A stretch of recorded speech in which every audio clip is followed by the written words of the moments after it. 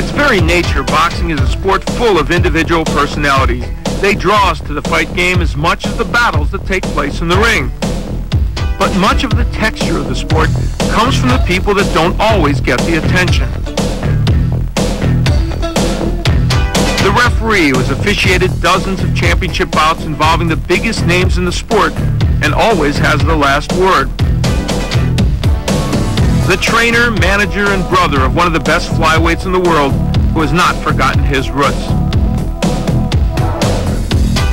The boxer who manages his own business is a dedicated family man and fights for titles, all while remaining one of the best people in the sport. And the ring announcer, the GQ kind of guy who says those words that get us ready for the fight. So stay with us as we introduce you to some of boxing's unsung heroes.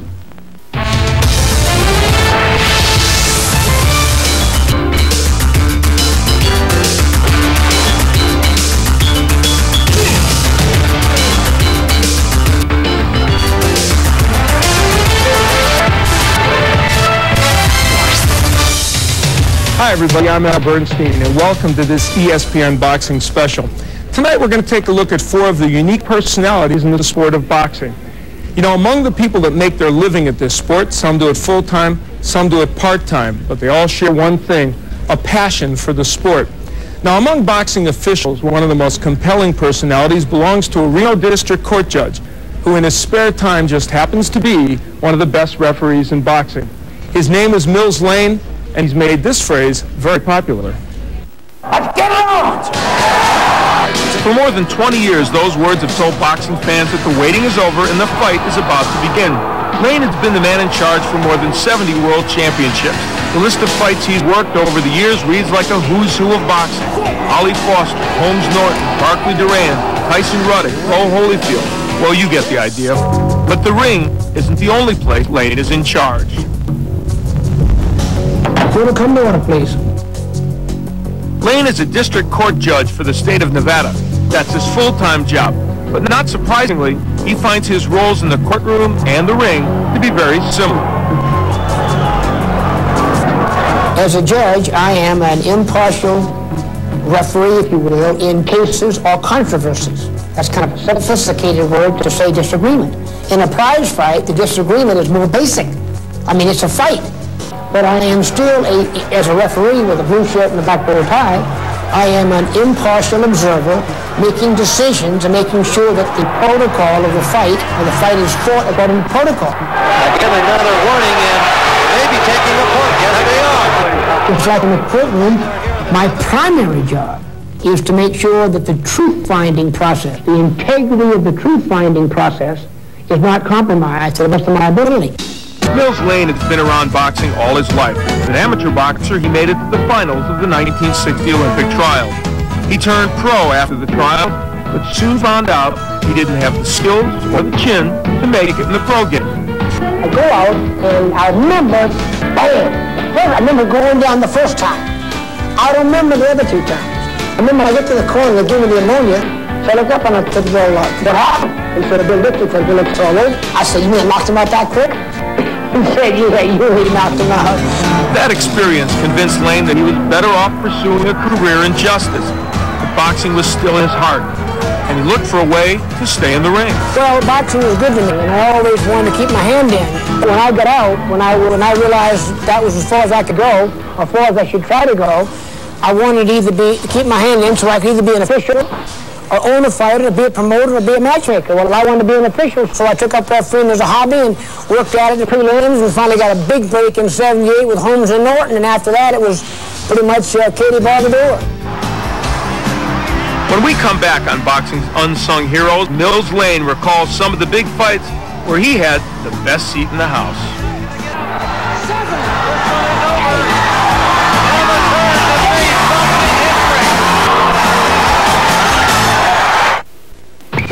Still bugs me that I waited to try Old Spice High Endurance just because I thought all deodorants worked the same. Dumb. This proves it's the best. Better than the leading stick. It evaporates less quickly, lasts longer, protects better against odor. You can't ignore that. Or this guarantee. Try it. If you don't think it's the best, call 1-800-PROVE-IT, and they'll buy you a stick of yours. You gotta figure anyone that serious about deodorant deserves a serious shot. Come on, take the High Endurance Challenge from Old Spice. I did. So. When it occurs to me, I wouldn't mind hitting one of those fashion TV shows in Paris.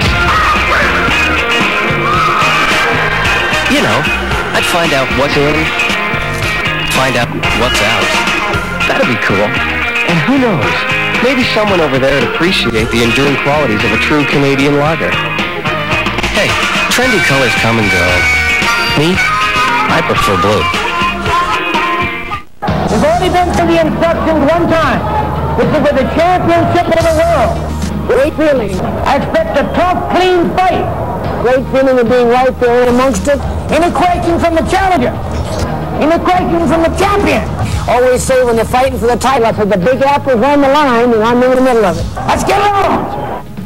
After all the hype is done, after the crowd has sat through half a dozen undercard fights, it's time for the main event, and you can feel the excitement around the ring.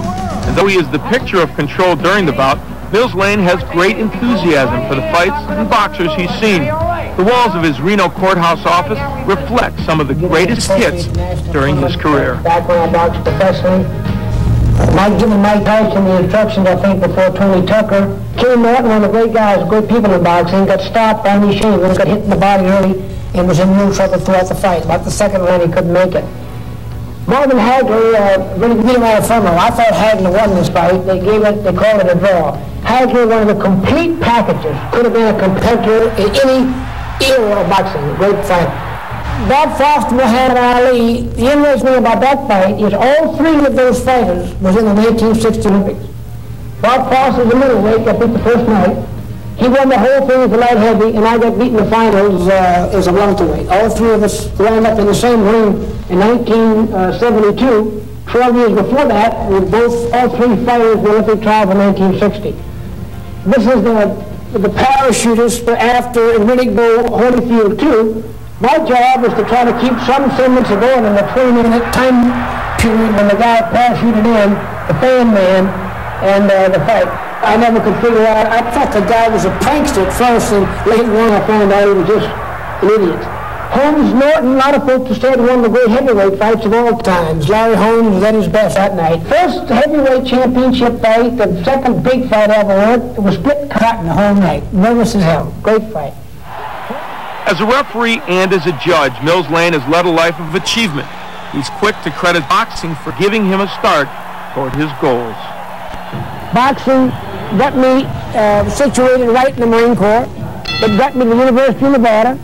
It got me open doors through that would not be open otherwise. It, it gave me a, a vocation which is a great deal of fun. When I take the bow tie off and no longer have to be a referee, I'll leave something behind. But I hope that my uh, love affair with the sweet science goes on in some other capacity. Is Mills Lane. Mills Lane knows what it's like to try and keep two careers rolling. Another man that knows that is the man we'll look at next here in our look at people in boxing. His name is Harold Brazier, and he just might be the most special person I've ever met in this sport. Advil for today's tough pain presents Profiles of Courage. In the 91 Canada Cup tournament, Wayne Gretzky received a vicious cross-check from the USA's Gary Suter and dropped to the ice in complete agony. That was the beginning of Gretzky's lower back troubles, which made him sit on almost half of the 92-93 season. But 93-94 saw Wayne make a strong return, leading the NHL in scoring for an incredible 11th time and surpassing the legendary Gordie Howe as the all-time leading goal scorer in the NHL. In a clinic like this, I can't stop for a headache. The doctor here told me about Advil. It's tough on pain, and it really works fast. In fact, one Advil is as effective as two regular strength Tylenol. and for cold and sinus congestion, there's Advil Cold and Sinus. It's tough on colds, like Advil is on pain. And now it's available without a prescription. Advil and new Advil Cold and Sinus. Tough on pain, tough on cold congestion.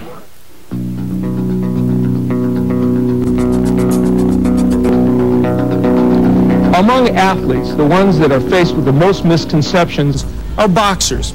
Every week, one of the best part of my jobs is I get to sit and talk with five or six boxers as we interview them the day of our ESPN top-ranked boxing fights.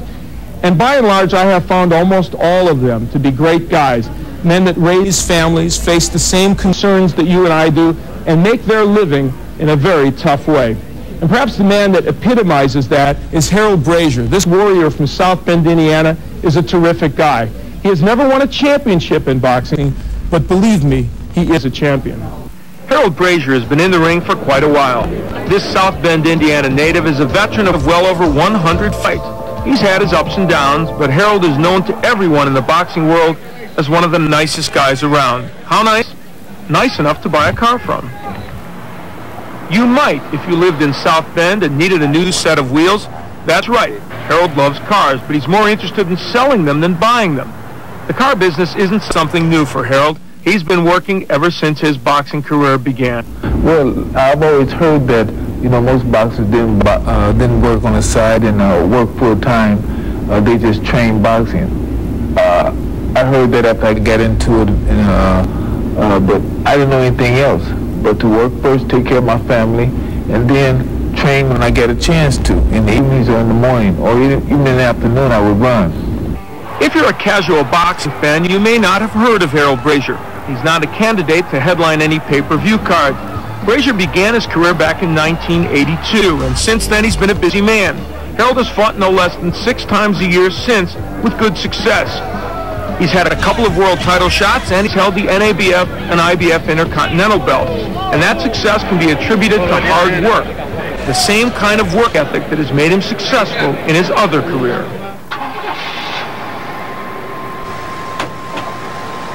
Harold began his automobile career by working in an auto body shop. Now he's moved over to the sales department. And with his personality and work ethic, he's very comfortable with his other occupation. I've been in the car business all my life. Uh, uh, what, what better part of than uh, fixing them is, you know, is really buying them. You know, everybody from 16 to uh, 80, 90 years old have to have a car.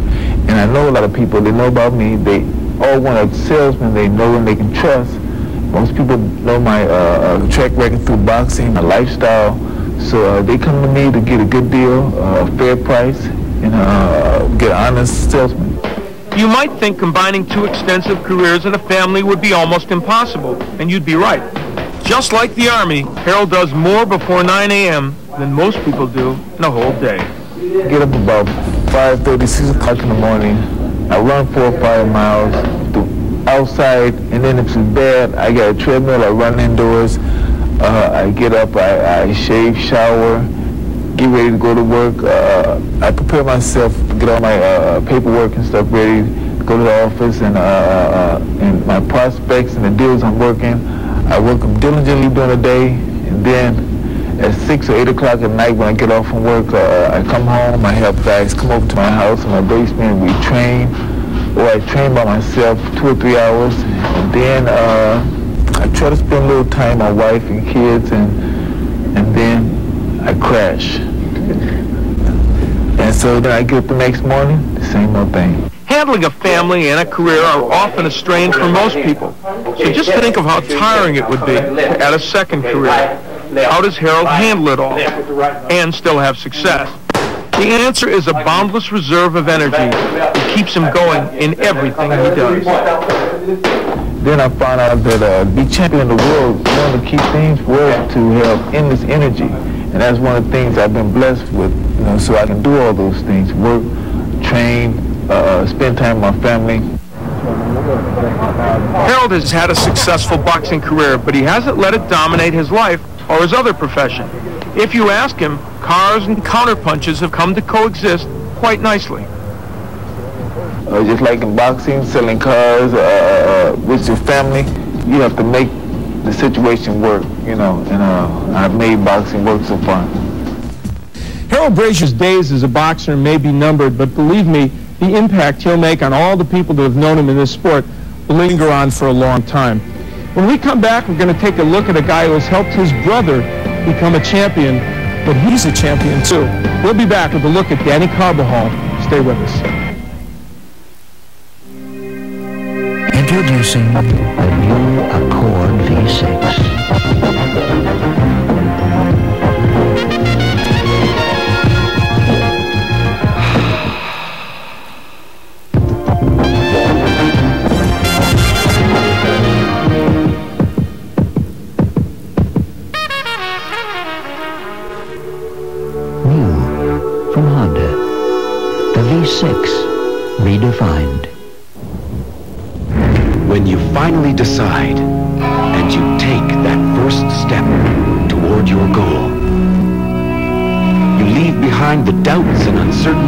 That made you think you couldn't do it.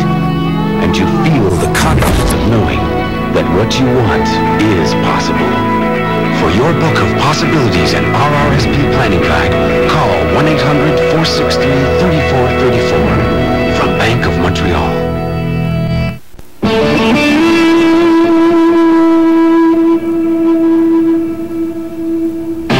This home in Phoenix, Arizona has produced one of the best family associations in the sport of boxing, one of the few that has really worked. It's the home of Michael Carbajal, flyweight champion, and the home in which he and his brother Danny both grew up.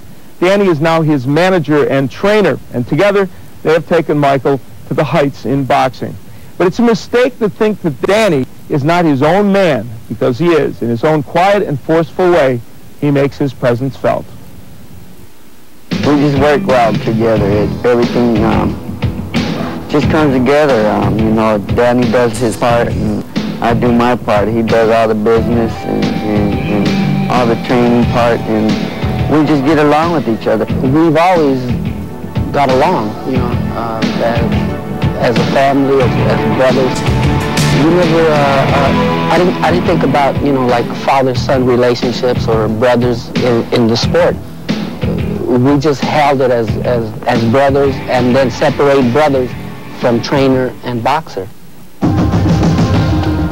Since Michael Carbajal captured the silver medal in the 1988 Olympics, the Carbajals have helped put small fighters back on the pro boxing map.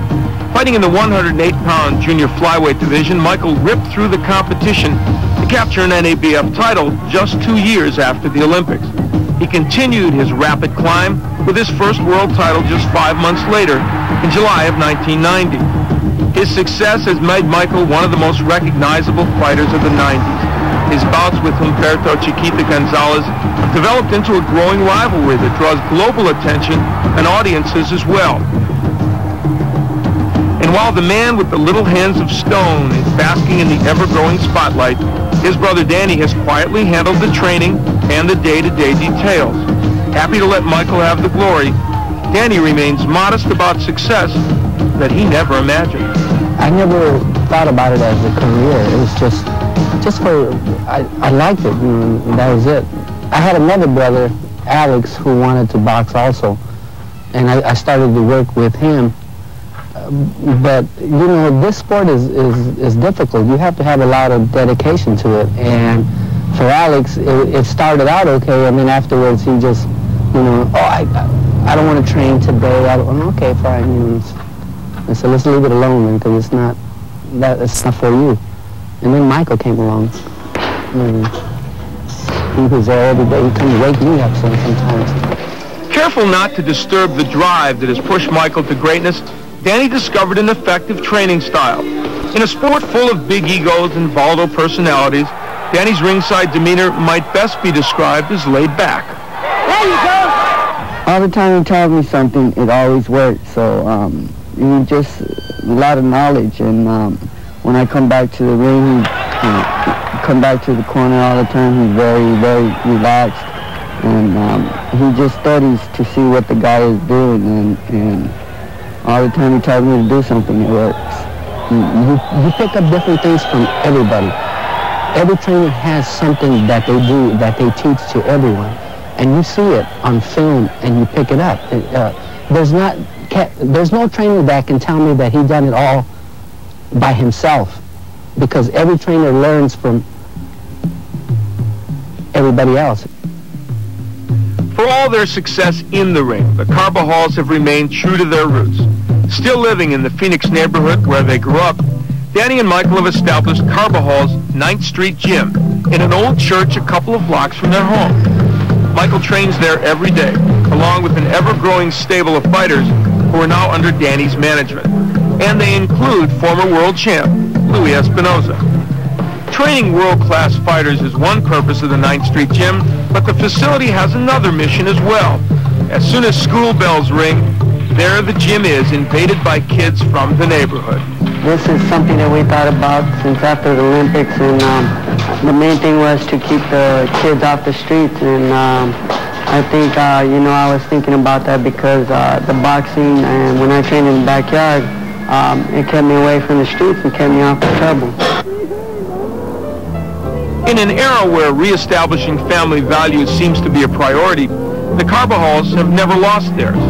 Danny and Michael have kept their feet firmly planted on the ground in Phoenix by not letting their success in the ring interfere with the values that their late father instilled in them. Basically, everything is, is patterned after the things that he taught me to live, how to live.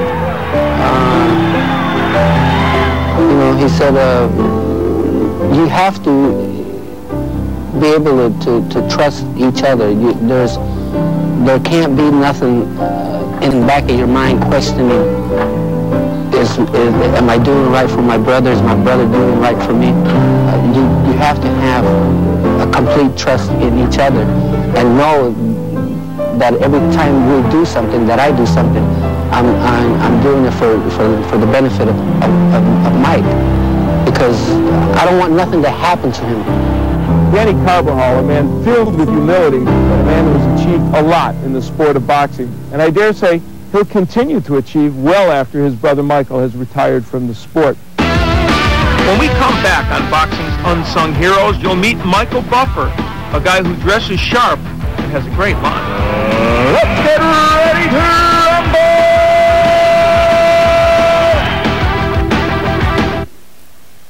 Rosie, the place looks great. Yes, it is. It was. Here.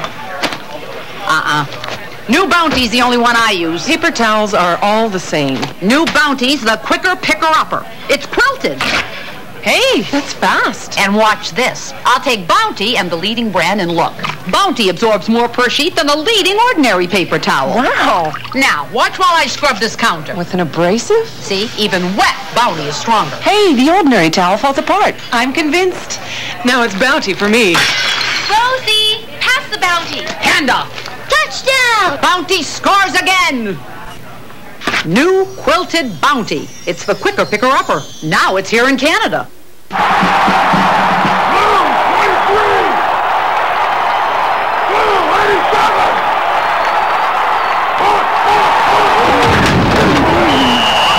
And Mr. South, first thinking is what we are.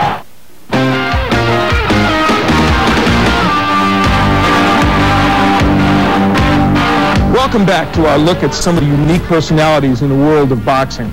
Well, if you watch our ESPN Top Rank boxing show every week, you're used to seeing a tall, handsome, gray-haired gentleman in a tuxedo. No, I, I didn't mean me. I meant Michael Buffer in the center of the ring. He's a man that says, let's get ready to rumble. And everywhere I go around the country, I'm always asked, what is Michael Buffer really like? Tonight, we're going to show you. You know, boxing is a sport full of intriguing personalities, and sometimes it seems as if everybody has their own gimmick to try and separate them from the crowd, and it's not easy. Being a unique personality is tough enough for the fighter, but how about for a ring announcer? Well, Michael Buffer has found his hook, and these five words have made him famous. Uh, let's get ready to rumble! Because I'm a fan, I wanted uh, that excitement to reach out as if I were sitting there. We have a great fight and the electricity and the fighters come out and their music is playing. Everybody gets excited and then the ring announcer has to kill the crowd by saying, This bout is sanctioned by the Nevada State Athletic Commission. Chairman, Dr. Elias Ghanem. Commissioners. It goes on and on and it kills the crowd. So I wanted something that when we introduce the fighters, that you get that excitement back and even the fighters would get excited. Something that just gets the energy back into the introductions. Uh, let's get ready to rumble! Michael Buffer is a part-time actor and a full-time ring announcer. And while it seems as though he's been around the sport forever, he only got started a little more than 10 years ago. And then, only on a whim. My son actually watched a, a ring announcer screw up a split decision, do it in an undramatic way, and he said, I hate that, Dad. Why don't you do that? And I thought, well, you know, why don't I? So I just thought maybe for laughs I could do it. Since then, Buffer has been a fixture at big fights by introducing us to the fighters and making the outcome official hundreds of times. Now that job can become pretty routine until the microphone quits working. Barkley Duran, definitely one of the great, my, my favorite fight, best fight I ever sat at at ringside. The sound system went out, but it was the PA system. Now I didn't realize it, of course, that the microphone was hot on the airwaves, but the PA wasn't on. And uh, from what I understand, they got some letters from people that know how to read lips as to what I was saying when I started yelling at the uh, production assistant at ringside, you know, changing microphones and nothing seemed to work. Drama building here. Michael Buffer can't seem to get his, his microphone working, or they can't get it working for him. Iran Barkley. So what we did was I gave the scores screaming as loud as I could with Bob Arum on one side and Jay Edson on the other, yelling it out to the crowd. And a crowd of 6,000 people all shut up just so they could hear the, crowd, the, uh, the voices when people yelling it out in the PA system.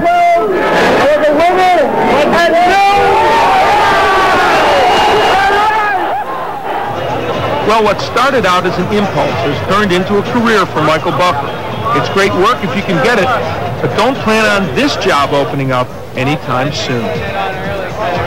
No, this is a full-time job for me, and uh, it's become a, you know, I make a good living at it. I'm very happy, and uh, 10 years from now, let's take a hike. You know, I'll be almost 30 by then. I guess Michael Buffer is the epitome of what we've tried to show you during this program. Some boxing personalities with a twist. We hope you've enjoyed this look at four unique people that populate this sport. I'm Al Bernstein. We'll see you next time.